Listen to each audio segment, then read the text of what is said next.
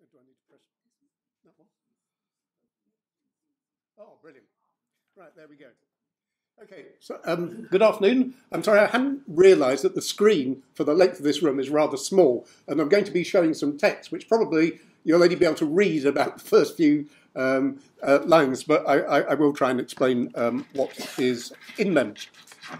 So, uh, um, my focus today is um, going to be on the ancient views uh, and uh, of Nero and evidence for them, and uh, the um, I won't really be talking about the modern tradition so much, um, of which probably the, the, the, the, most sensible book is um, uh, uh, Miriam Griffin's um, book on uh, Nero, um, except to note that that mainly follows, most modern books follow the uh, Tacitean portrait and are therefore highly critical of Nero.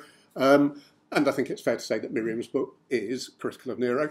Um, and, uh, and, and the books that are sort of say, you know, Nero, the great misunderstood emperor, are really on the loony side of uh, things. So uh, I, am going to try and give you a sensible view of Nero as possibly nice. Okay. Um, right. Sorry, I'm just, I should have checked where the things are. Good. Um, how, how many of you can read that? Where can't? Where do you start not being able to read it? Right, oh good. Okay, let's start with what Tacitus says about Tacitus's view of Nero, um, uh, which is uh, in his Annals, books 13 to 16. Book 16 betas out, dot, dot, dot. Did he ever finish it? Did um, Or not? We don't know.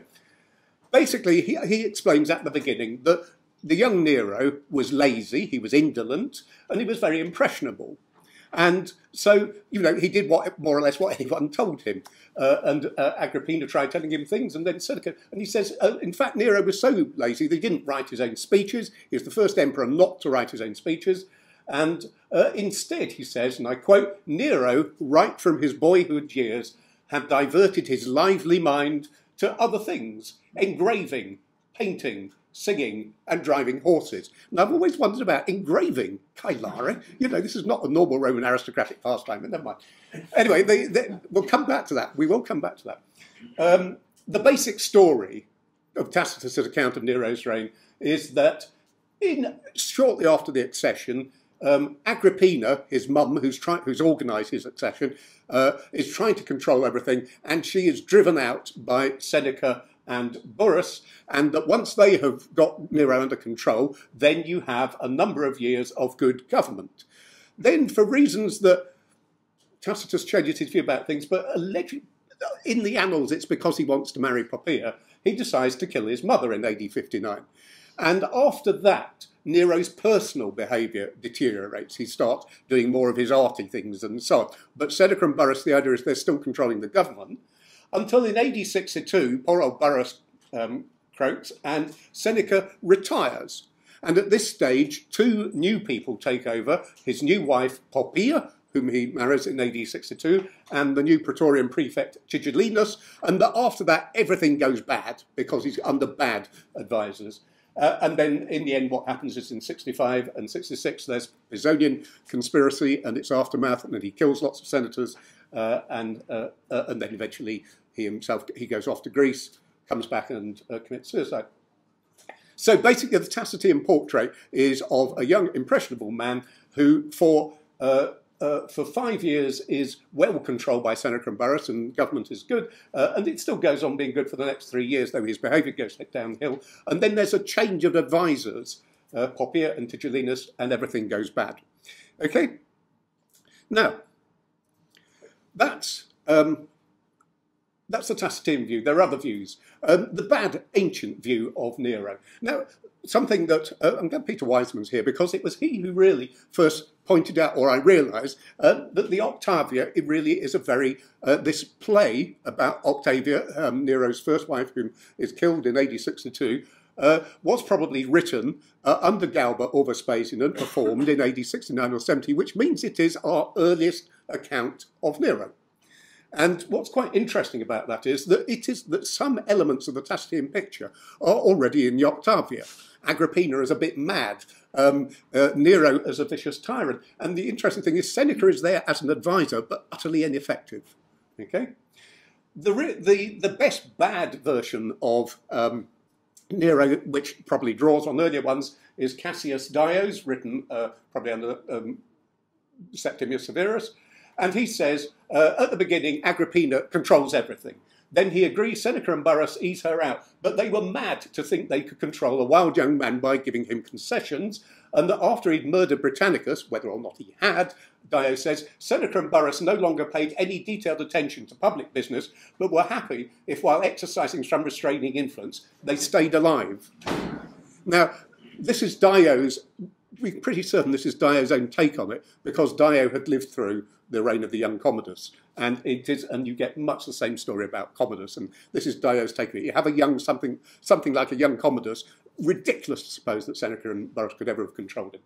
Uh, and then, and, and, the other thing that's um, note about um, Dio's portrait is that it does represent the anti-Senecan tradition, which we also find you find in Tacitus, but tucked away into little corners.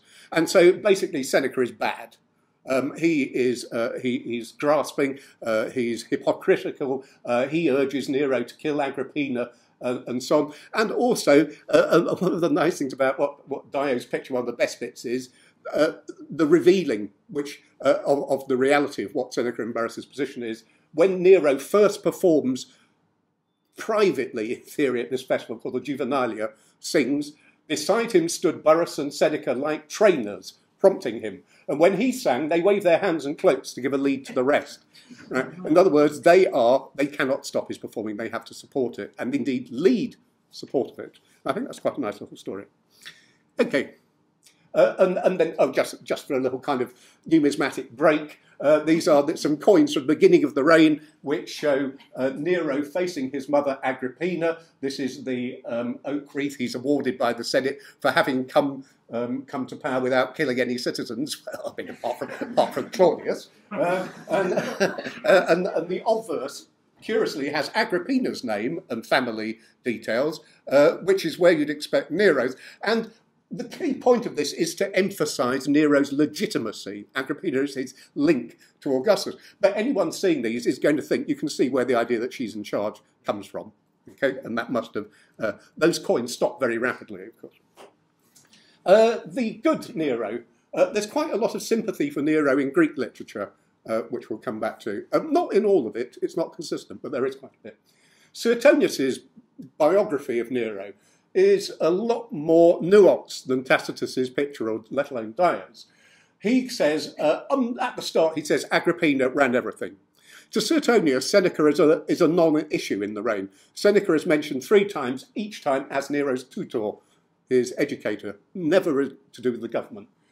And then about halfway through the, no, bit before that, um, Suetonius breaks off to say, I have brought together these deeds, some in no way reprehensible, some even deserving of no little praise, in order to separate them from his bad deeds and crimes, which I now recount. So Suetonius sees Nero's reign as being a mixture of good things and bad things. And when you look at the chronology, there isn't a chronological break. It's not that all the good things are before 62 and all the bad things afterwards. It's a lot more complex than that.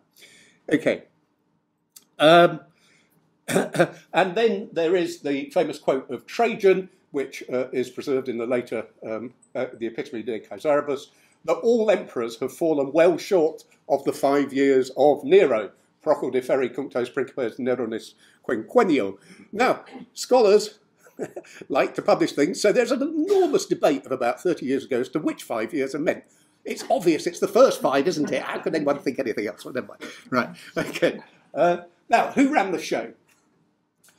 This is just a say, you know, what comes out of all this? What I, if I were talking about this, which isn't really what I'm talking about, I think Agrippina is still very influential until her death. It's very difficult to explain why Nero would ever want to murder her if she isn't still in some way controlling things. There is no reason to think that Burrus and Seneca have, bro have broken with her. They, they were her tools, right? There is what they do is very early on, they move her out of the palace, but it doesn't mean she loses her influence. It's, it's like not having her head on coins. You have the head on coins, people start saying she's running things. So you move her out of the palace, then they don't. Um, Tigellinus is not a new baddie in AD 62. Tigellinus had known Nero from his boyhood. Tigellinus had been prefect of the watch under Seneca in the time of Seneca and Burrus. In other words, Tigellinus is part of the original gang. Okay? Seneca doesn't retire in 62. Uh, everyone says he retires in 62. Nero says, no, you can't. And he's still there and retires in 64. A little story about how Nero, when Nero did hear cases, what he did about them. Whenever he withdrew to take judicial advice, he never discussed anything in the group or openly, but read silently and kept to himself. In other words, when he reads people's views, he doesn't read them out. Normally, ancients read aloud. Uh, the opinions written down by each man, and then announce what he had decided as if it were the majority view. Well, of course, of course, but the point is, he is not. He is taking advice seriously. He is considering that is. You could take that's positive. He is making good use of his advisors. Okay. Right, so my view is basically that if anything happens in Nero's reign from beginning to end, it's primarily because Nero wants it to. It's not because Seneca and Burrus are telling him to or Poppaea's telling him to. It's because it's what he wants to do. And he uses people to help him. Let's start with the phase that his accession speech to the Senate. He comes, uh, after addressing the garden on, he comes into the Senate. All, all new emperors do this, and they all say, previous government was bad, I'm going to be much better. Right? This is Nero's version of it. Then he outlined the shape of the coming principate, specifically rejecting what had recently caused, oh dear, typos, caused burning resentment. He would, under Claudius that is, he would not be the judge of all cases, so that accusers and defendants were shut into one house. That's Claudius's uh, enormous enthusiasm for hearing cases himself. Uh, and matters were settled by the power of a few. There would be no conduit through his household for bribery or lobbying, no influence by freedmen or wives or things like this. Uh, his house and the state would be separate. The Senate would retain its ancient functions. Italy and the public provinces should attend the tribunals of the consuls, who would provide them with access to the senators, while he would look after the armies entrusted to him. And Suetonius sums it up. He said he would rule by the scheme of Augustus. And he is reinstituting, this is what we know as the settlement of 27 BC. That what's fundamental about the principate is the princeps looks after the provinces allocated to him by the Senate, the Senate does the rest. I mean, it's not that simple, but that's the, that's the message that's coming out. This is a new Augustan age. Now, what I'm going to do is give you some examples of things where I think Nero was an extraordinary good emperor and one who supported the Senate, which is above all for the Romans, is the crucial test of Roman literature. It's not what did the emperor do that was good for the empire, it's how well did he get on with the Senate? How far did he show respect? And I'll try to show you how Nero uses his undoubted dramatic abilities to make a really good go of these relations, which, after all, do require a little bit of dramatic um, uh, ability. And the first episode that I want to pick on, so I'm going to pick a number of, a few episodes, uh, some variety. Nero and the issue of freedmen. In AD 56, so Tacitus tells us, and by the way, anything that comes out of the Senate, senatorial business, is pretty likely to be correct because there were acta senatus, there was some sort of record, which does seem even to have included a sort of summary of major speeches and so on. So when Tacitus talks about what happened in the Senate, he and, and there's a lot of reason to think that he did actually go through and draw on the acta senatus. So this kind of stuff is, is quite good there is a proposal put to the Senate that patrons should have the power to revoke their manumission of freedmen if those freedmen have committed crimes, fraudes, against them. And the fraus that people are thinking about, fraus means a crime. What the senators particularly hate is that freedmen, in particularly in treason trials, have been testifying against them or even prosecuting their patrons, which is certainly something that they are not meant to do. You are not, if you are a, a, a, son, a wife, a freedman, and so on, is not meant by Roman law to testify against their husband, patron, or whatever. And that's the main thing. Um, the majority of the Senate, we're told, were very much in favour of passing a law that patrons should have the right to revoke manumission, but the consuls don't hold a vote, and we're told without the princeps knowing, ignaro principe and so right to tell him the Senate's view. Now, this is a bit odd. I mean, okay, Nero isn't necessarily in the Senate, but you can't have a formal proposal without it being on the agenda. This is something we know. It actually has to be noted before the meeting. And you can't think that Nero and all his friends, and some of them must have been in the Senate, had not noticed this coming along. So I don't. I find it very difficult to believe he didn't know that this debate was coming up, but clearly he hadn't expressed an opinion. And what is really extraordinary about this is um, that uh, sorry, Tacitus says after the accession speech, he then says, Nec defuit fides, And it happened. Nero kept his word. And this is an extraordinary example of this. I cannot imagine any other emperor allowing a debate in the Senate as to whether or not freedmen could be, um, could be manumitted without having expressed an opinion and saying what they wanted the result to be. And the Senate patently comes the wrong, to, the, to the wrong decision, uh, very much in their interest, but uh, uh, would have been calamitous uh, for Roman society if patrons had had the right to revoke manumission at will. Uh, and Nero discusses this with his advisers, and then he sends a reply that the Senate could consider individual cases brought to it by patrons, but should not reduce the rights of all freedmen. This is something that senators kept on trying to do. They tried to do it under Augustus. They tried to, they tried to do it under Claudius. And here you see an interesting difference between Claudius and Nero. Claudius had said, no, you can't revoke that right, or you know, you can't revoke manumission as a general thing. You can't have a general. But he says, I will consider cases. Nero says, you can consider cases, right? See how he's respecting the Senate? Still on the on slaves, Nero in the slaves of Pedanius Secundus. In AD 61, the prefect of the city, a distinguished senator, is murdered in his house, and the uh, and the Senate then uh, decides uh, has to decide what to do uh, what to, uh, about punishing the slaves and freedmen in the house. Um, and it is a law that is the Roman Roman law is that when a master is murdered in his house, that all the slaves who are in the same house, uh, they say sub eodem tecto, under the same roof, have to be put to death. And the Senate, Nero's Senate, had a, a, a couple of years, earlier, well, four years earlier, in AD 57, had by Senatus Consultum extended that law to include all the slaves who were due to receive manumission in a will. Right? So before, instead of you wouldn't execute the slaves who were manumitted in the will, and, and, and they, would, they would escape execution. So it's already been made worse. Right? The, the law has been tightened four years before. Now, the trouble is that Pedanius Secundus had a very large house and there were 400 slaves, grosso modo there. And so the Senate has to, you know, there is a debate can we really kill 400 slaves? And they uh, and and the, there is a great um, uh, a great speech given by uh, Cassius Longinus. It's not he presumably did give a speech. What we have is Tacitus' speech. It's the biggest speech in Annals 13 to 16, and it is unequivocally um, for executing all the slaves. And it seems to me it's fairly clear Cassius Longinus is the only person in Annals 13 to 16 who gets a positive write-up every time he appears. Everyone else is a flawed hero. He's not. So one, I think we must take it that this is Tacitus' view of the thing. Um, the uh, crowds gather outside and threaten to burn down the Senate and the Senate House because this is so unpopular a decision. Now, what would Nero do? You'd think, from the normal view of Nero, populist politician, hey, what he'll do is he'll override the Senate thing and he'll, and, and he'll achieve enormous popularity. What he does instead, remarkably, is that he vetoes the exile of the freedmen, which they want to have, but he then provides Praetorian guards to ensure that the slaves are taken off and executed without any popular uprising.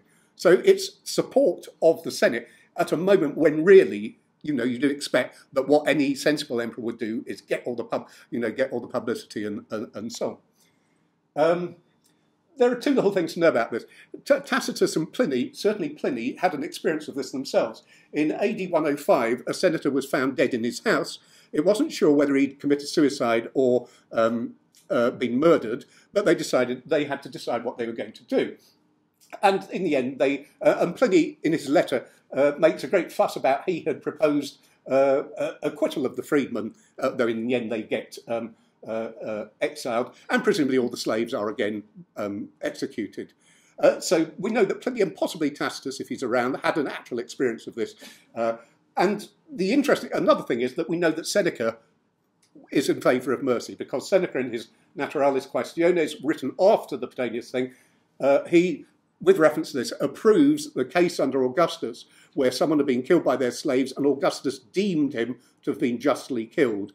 So it wasn't murder and the slaves weren't executed. And that's what Seneca. So we know that what Nero does would have been not what Seneca would have wanted him to do. Anyway, enough of slaves. Something rather different. Legal developments. Some of you may be involved in the law one way or another. You might like a little legal moment. Okay, in AD 61, another thing, the, uh, a number of senators and equites were convicted in the Senate of forging a will. And Nero uh, shows his his clementia by interceding for a young noble who's involved, Asinius Marcellus, he's very poor, that he should not be punished. And Tacitus does tell us that what then happens is the, um, the, the, the Senate proposes a new law against, because this is something that's involved, against the abandonment of prosecutions, especially if it's collusive. In other words, if you set up a fake prosecution merely to stop yourself being brought to trial. And this is a, a fundamental Latin uh, Roman legal, then becomes a fundamental principle of Roman law that's in the digest and so on. And it must be said, if you go through the digest, the number of senatus consulta about legal procedure that come from the Neronian period are more than from any other reign. In other words, the Nero Senate is enormously busy in reforming Roman law and laying down procedures which go right through to the third century. The thing that Tacitus doesn't tell us, rather curiously, uh, is that it also led to a change in the rules about um, tabulae, the, these tablets in which you record wills and contracts. That, um, that prior to AD 61, Romans had used two tablets. And so you'd, you'd write your you'd write your will thing in uh, your will inside, you'd then wrap it round, put your seals on the outside, and write a copy on the outside. And if you thought the copy on the outside had been tampered with, you'd break the seals and look inside. But actually, it was dead easy to slide something under the seals, take the seals off, and alter the thing inside. You see. And so what they do is they devise the system of three tablets, where the seals. This is what happens with your middle. You have so you have three tablets, and the middle one has a channel down the middle, which you put your seals in and then your signatures beside them. And what you then do is you don't have a visible outside thing. You, this is all wrapped up so that if you want to look, if someone challenges your verbal thing, you unwrap the first, the, the first um, version of the contract or will, and that's still leaving this, and you can't get at the seals to tamper with them. And then if you don't trust the outer version, you can then break the seals. And this is a much securer thing. And in the, um, in, in the uh, tablets from uh, from Pompeii um, of the Sulpicii, uh, as studied by Camodeca, we find that almost all the tablets up to AD 61 are diptychs, and all the tablets after AD 61 are triptychs. And this is so a fundamental, another fundamental change in Roman procedure occurring under Nero's Senate. Lastly, I am an economic historian, so if you thought you'd get, get away without economics, you were wrong. Right, taxation even.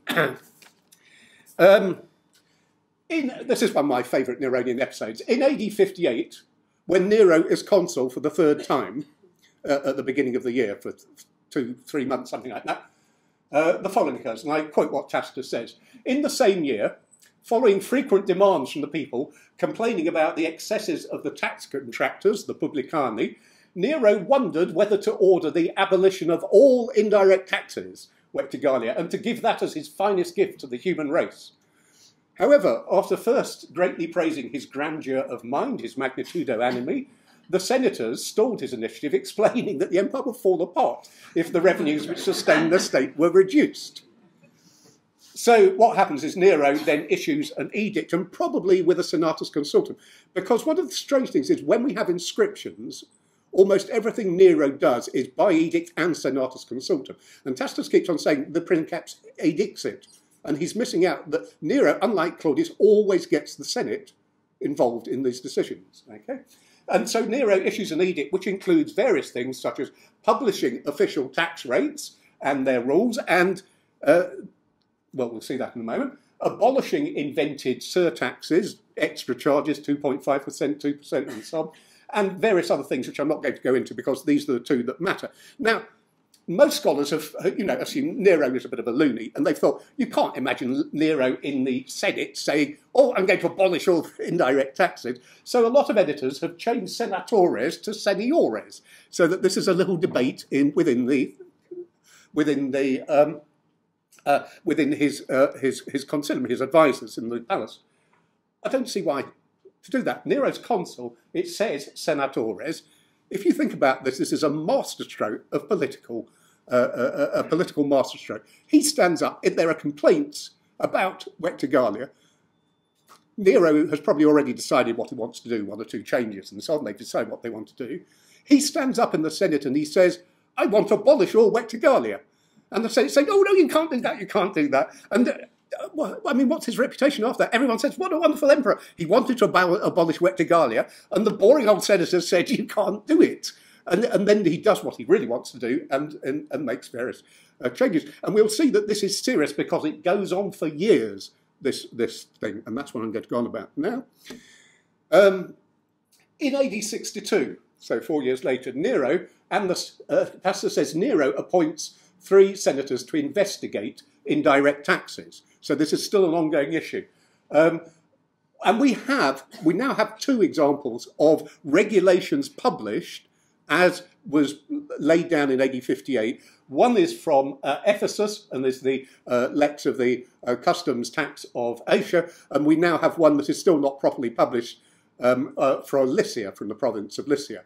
So there was, under Nero, there were two emperors under whom tax regulations were actually published in some number and survived to us, and then Nero and Domitian, two bad emperors, uh, the good Emperor Hadrian said it was no defence against the publicanus that there wasn't a copy of the taxes on display. Uh, right? If you don't pay taxes, you know you can't use ignorance as, a, uh, as an excuse. Anyway, what this says is this is a copy uh, made in, uh, uh, in Rome or Ephesus on the 9th of July 62 when Aulus, Pompeius, Paulinus, Lucius Calpurnius, Piso, Nannus, Ducenius, Geminus were curatores of the public revenues by authority of Nero Claudius and by Senatus Consultum, right? So Nero had taken this through the Senate as proper. The standing regulations and so on. And then what they do is they, uh, the inscription gives us the regulations first set up by Gaius Gracchus in 123 BC, the amendments made by various consuls since, and then at the end, where it breaks off, the amendments made by the curatores. So the point is that actually Nero, you know, is continuing the reform of AD 62 with actually setting up a group of three people to systematically go through all the tax vectigalia laws in the empire and produce up-to-date authoritative versions of the regulations and to provide copies which people, that cities can then choose, as Ephesus chooses, to uh, put up in stone. And I don't think it stops there. Everyone know, uh, every, the other thing that people know about Nero is that he's kept on spending too much, which isn't true, and that therefore in AD 65, after the fire at Rome, he had to devalue the, pre the precious metal uh, coinage, the aureus and the denarius, to allegedly give himself more money. Now, this just doesn't work. It would take a hell of a long time when you're reminting these things to actually get any significant income from this. Also, what it ignores is that Nero had started reforming the coinage before the fire at Rome in AD 63, where instead of the mixture of bronze, so-called bronze, we call them bronze, mostly copper, copper and orichalcum coins before, uh, he starts minting uh, pure uh, ori uh, all orichalcum issues for, for the minor coins. Uh, and this is a, a Dupondius, uh, which is quite interesting because it's what it has. Uh, it's got. Uh, it's for, it shows something called securitas Augusti, the absence of trouble of the Augustus. And it's not entirely clear whether it means that hey Nero's chilled or that the empire is protected by him. But anyway, um, what is striking about these coinages that um, numismatists assure me that these are some of the finest Roman coins ever uh, produced in terms of the quality of their images and so on. And what is it that does produces coins? Is it engraving? By chance, remember Nero's interested in engraving? Anyway, so the coin reform is done uh, started before AD 63 and therefore cannot be simply a reaction to any financial problem in AD 64. Furthermore, I think uh, my own theory, and just to be brief, is that this is a recommendation of those tresviri, of the three men investigating vectigalia. Remember one of the things, two things that I mentioned, uh, that, re that regulations should be published, that the extra taxes should be abolished. Now, I'm not going to go into the details of this, but prior to Nero, the drachma as a coin and the drachma as a weight have different values to the denarius as a coin, which is a, weight. From Nero on, the drachma and the denarius have are parity. And we know this from all kinds of fascinating metrological texts that virtually no one ever reads. Now, the one, and, and what they do is basically um, the denarius is moved to being minted at, uh, at 96 to the Roman pound. Now, what I think is going on is the drachma, a, dra a, a, a 100 drachmas equal a mina. You can't go from 84 to 100 while preserving ratios very easily. So what Nero has done is he's moved the denarius to the nearest thing he can get to making the a denarius the same in the same relation to the pound as a drachma is to a mina, and we know that the mina is linked with the pound. In other words, what people can't do now is to demand a markup from people when they're paying in non-Roman silver coinage, of which there is an enormous amount in eastern provinces.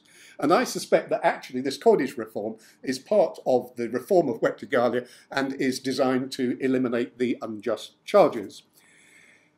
So, lastly,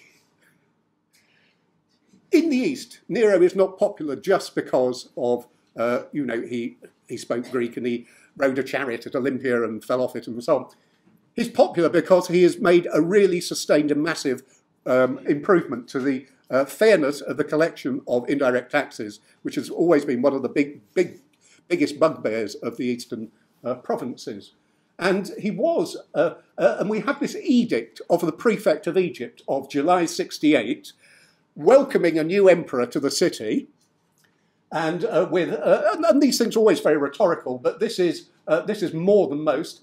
Uh, you know, placing your all your hopes, everything in your benefactor, the emperor, whose light has shone upon us for the salvation of the entire human race. Galba, the gods having preserved the safety of the inhabited world, the oikumene, up to this most sacred point in time. Now, the only problem about this is that Galba wasn't going to go to Alexandria, never went to Alexandria, but someone was after he, at the end of his Greek tour, Nero was planning to go to Egypt. And almost certainly because Tiberius Julius Alexander got this whacking great edict out in record time, almost the day after he'd heard of Galba, right? So he must have had it written already for Nero, right? And this is, uh, this is the welcome speech for Nero to, to Alexandria. Okay, those are enough speculations. Thank you very much.